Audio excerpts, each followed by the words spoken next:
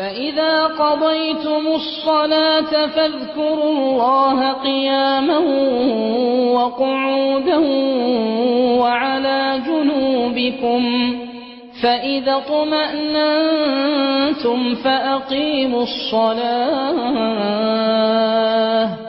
إن الصلاة كانت على المؤمنين كتابا موقوتا